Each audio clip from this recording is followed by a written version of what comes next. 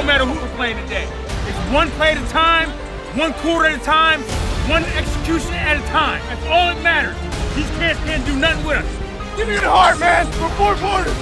All you got. Let's go.